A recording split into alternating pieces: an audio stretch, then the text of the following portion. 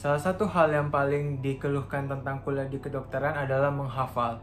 Ya, setiap harinya kita disuguhi berbagai macam informasi dan kita harus menghafalnya.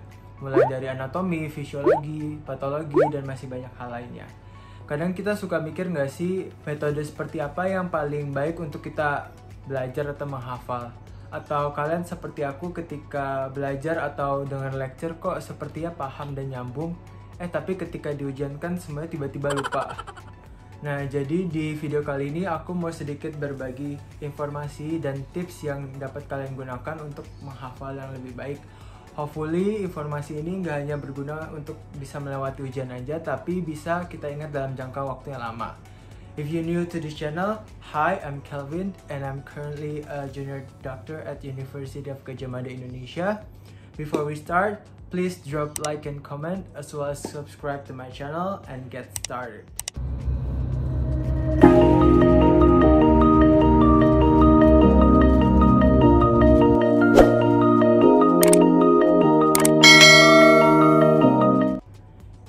Adalah topik salah satu yang highly requested dari kalian ketika aku buka survei di Instagram beberapa waktu yang lalu. Mungkin cukup relatable ya dengan kondisi sekarang di mana kita harus belajar dari rumah. Tentunya akan lebih banyak lagi tantangan dan juga kesulitan yang kita hadapi dan kadang kita jadi tambah bingung gimana caranya untuk belajar yang lebih efektif. Jadi di sini aku coba rangkum beberapa tips yang aku lakuin selama ini berdasarkan pengalaman aku dan aku coba tambah dari sumber-sumber lain, misalnya dari jurnal, dari artikel, dan dari penelitian lain. Hopefully uh, tips-tips kali ini tuh bisa komprehensif dan juga bisa kalian gunakan. Disclaimer, ini adalah personal opinion aku, jadi mungkin ada beberapa yang gak sesuai dengan kalian, jadi kalian juga harus pilih-pilih mana yang works best for you. Sebelum aku bahas satu-satu, let me remind you that not all information that you read on the book or other resources are important to be remembered. Otak kita setiap saat diisi oleh berbagai macam informasi dan kita harus filter which one are important to be remembered. Nah, sebelum kalian belajar, kalian tetapkan dulu apa tujuan atau objektif dari proses belajar kalian. Kemudian dari tujuan itu kalian bikin list of goals dan baru kalian tuh baca materi-materinya sehingga apa yang kalian mau hafalin itu bisa berorientasi pada goals tersebut. Tips yang pertama adalah rereading atau dibaca berulang-ulang. Sebenarnya metode ini tuh udah sangat populer ya dan banyak banget digunakan oleh hampir semua orang. Berdasarkan salah satu studi yang ada di Amerika di mana mereka melibatkan sejumlah mahasiswa dan ditanya apa metode belajar kalian selama ini. Kebanyakan dari mereka menjawab bahwa mereka menggunakan metode rereading ini. Termasuk dari aku dan juga beberapa teman aku yang kuliah di kedokteran, kita kebanyakan memang menggunakan metode yang seperti ini. Di sini dikatakan ketika kita melakukan reading ini, jumlah informasi yang masuk ke dalam otak kita ini akan bertambah atau meningkat. Nah, ada beberapa penelitian yang membandingkan antara mahasiswa yang membaca hanya sekali dengan mahasiswa yang membaca berulang kali. Di sini tentunya hasilnya adalah didapatkan peningkatan dari prestasi dan juga kemampuan belajar dari mahasiswa yang membaca berulang kali. Tips yang kedua adalah summarizing dan taking notes. Ini mengacu pada poin aku sebelumnya di mana ada begitu banyak informasi yang kita terima setiap harinya. Jadi di sini kita harus filter atau identifikasi mana informasi yang penting dan kita coba cari korelasi atau hubungan antara ide satu dengan ide lainnya sehingga itu akan mempermudah kita untuk menghafal. Cara yang biasanya aku lakukan adalah aku baca semua materinya, kemudian aku pilih-pilih mana yang penting. Setelah itu akan terbentuk beberapa poin yang penting dan aku coba untuk korelasikan hubungan antara poin-poin tersebut. Nah, dengan menghubungkan antara poin-poin tersebut nanti akan terbentuk suatu kerangka berpikir di otak kita. Misalnya kita belajar tentang fisiologi pada ibu hamil. Di sini bisa banget kita kaitkan dengan tanda-tanda apa aja yang misalnya akan muncul ketika fisiologi tersebut terganggu. Jadi di sini ada kayak mind map gitu di dalam pikiran kita dan setelah kita membentuk suatu mind map itu aku sarankan banget untuk kalian tulis di buku catatan kalian dengan bahasa sendiri dengan ini akan mempermudah kalian untuk menghafal dan juga mengerti materinya Metode selanjutnya adalah highlighting dan using mnemonics. Hayo, siapa di sini yang buku catatannya sering banget distabiloin? Yap, highlighting adalah salah satu metode menghafal yang juga banyak digunakan oleh orang-orang. Kalau aku sendiri, aku juga senang untuk garis-garisin catatan aku. Karena selain satisfying, itu juga akan mempermudah aku banget untuk menghafal materi-materi pelajaran. Nah, ada suatu proses kognitif di otak yang dinamakan isolation effect. Jadi, ketika kita membaca suatu informasi yang unik atau distintif atau beda dari informasi yang lainnya, otak kita akan cenderung untuk berpikir, "Oh, ini adalah informasi yang penting," sehingga peluang untuk diingat itu akan lebih besar. Nah, di sini misalnya dengan memberikan highlighting atau kita menggaris bagian tertentu yang kita rasa penting menggunakan warna yang berbeda-beda itu akan membuat otak kita untuk berpikir bahwa informasi ini adalah penting. Prinsipnya sama ya dengan kita misalnya menggarisbawahi atau membuat tulisannya menjadi caps lock. Itu akan mem uh, membuat informasinya lebih eye catching dan juga pop up lagi. Tapi di sini yang perlu diperhatikan adalah jika kita terlalu banyak memberikan highlighting, justru efeknya itu nggak akan bagus. Karena semakin banyak kita memberikan highlighting, artinya suatu informasi gak akan menjadi beda banget dibandingkan informasi yang lainnya. Dan akibatnya justru kita malah akan lebih mudah untuk melupakan informasi tersebut. Yang kedua adalah mnemonics. Nah, aku yakin kalian juga udah pada familiar dengan penggunaan metode ini. Dan mungkin banyak dari kalian juga yang menggunakan metode ini untuk belajar kesehariannya. Mnemonics ini berasal dari bahasa Yunani yang artinya memori. Jadi mnemonics ini merupakan satu alat yang dapat membantu kita untuk menghafal informasi yang sifatnya luas atau banyak. Misalnya ketika kita ditanya tentang siapa aktor favorit kalian atau apa part dari suatu film yang menurut kalian paling menarik, mungkin kalian bisa menjawabnya dengan gampang ya. Lain ceritanya ketika kita ditanya tentang tulang yang ada di tubuh kita atau arteri apa yang berjalan di otak, informasi-informasi seperti ini tuh butuh effort yang lebih untuk bisa menjawabnya. Nah, di sini adalah peran dari mnemonics. Mnemonics ini bentuknya dapat beragam ya, misalnya dari lagu, rhyme, foto, atau image, dan juga sekarang yang lagi ngetren adalah penggunaan akronim atau singkatan.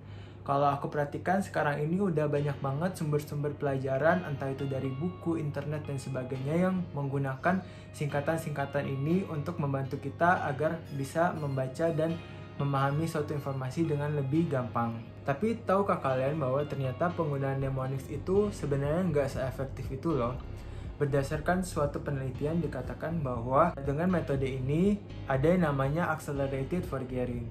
Jadi kan ketika kita berusaha untuk merecall informasi dengan mnemonic ini kita sebenarnya berusaha untuk mendecode apa singkatan atau apa makna dari singkatan tersebut nah semakin lama waktu yang kita perlukan untuk mendecode informasi tersebut maka akan semakin susah juga kita untuk merecall informasi seperti ini di kemudian harinya. Sebelum aku buat video ini, aku udah research di beberapa jurnal penelitian terkait sebenarnya apa metode belajar atau menghafal yang paling efektif.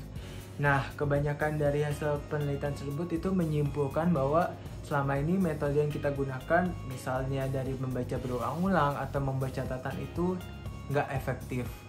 Mereka semua adalah bentuk dari apa yang namanya passive recall.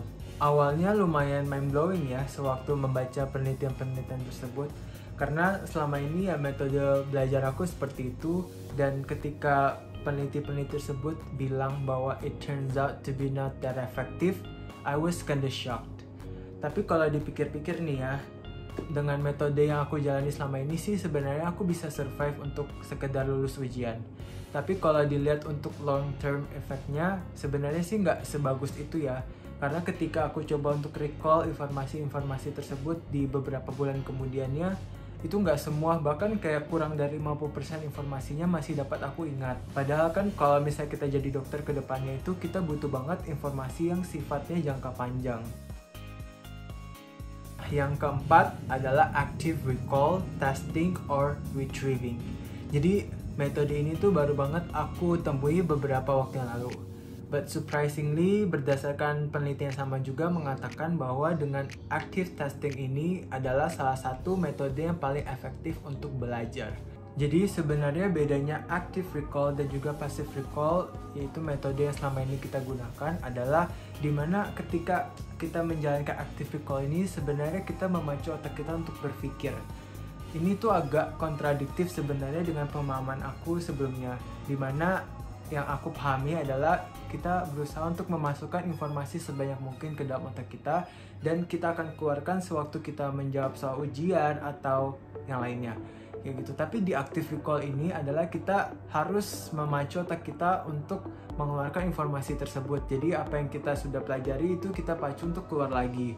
Fungsi dari active recall ini nggak hanya untuk meningkatkan kemampuan otak kita dalam hal meretain atau menempelkan suatu informasi ke dalam memori tapi active recall ini juga dapat mengimprove the connections in our brain between different concepts. Istilahnya dengan active recall ini kita dapat mengerti konsep-konsep yang berbeda gitu. Jadi ada connectionsnya. Nah setelah kita tahu kalau misalnya active recall itu adalah suatu metode efektif sekarang pertanyaannya adalah gimana caranya untuk mengaplikasikan active recall ini ke dalam kegiatan pembelajaran. Yang pertama adalah closed book. Nah buat kalian yang terutama nggak bisa untuk nyatat sama seperti aku di sini aku merasa closed book adalah salah satu metode yang akan cukup efektif.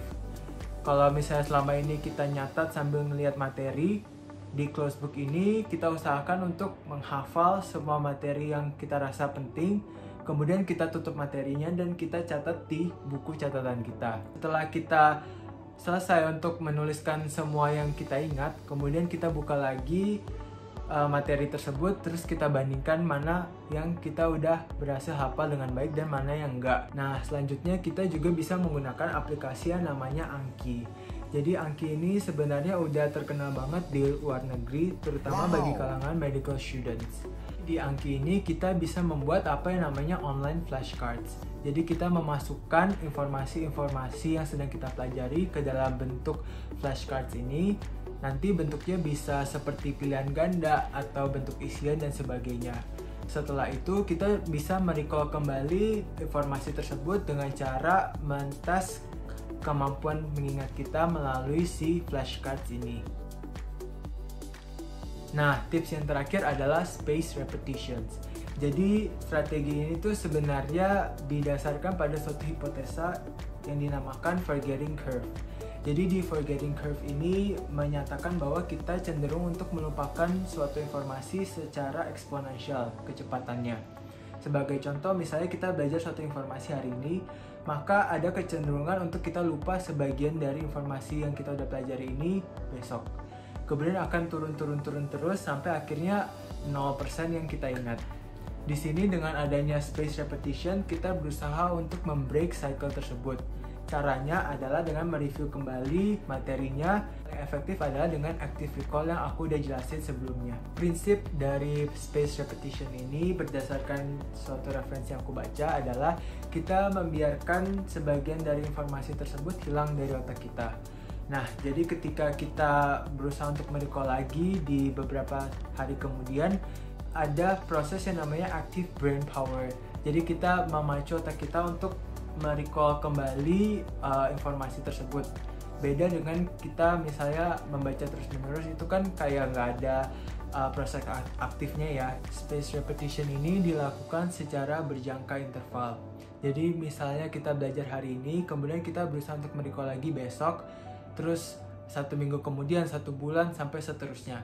Nah, semakin sering kita melakukan space repetition ini, maka suatu informasi akan lebih ke retain dalam jangka waktu yang lama di dalam memori. Yup, I think that's it for the video. Semoga informasi-informasi tersebut bisa bermanfaat buat kalian semua. Balik lagi, it's your personal preference. Kalian memilih untuk menggunakan strategi belajar yang mana. So, I'll see you guys in the next video. Stay safe and have a nice day, people.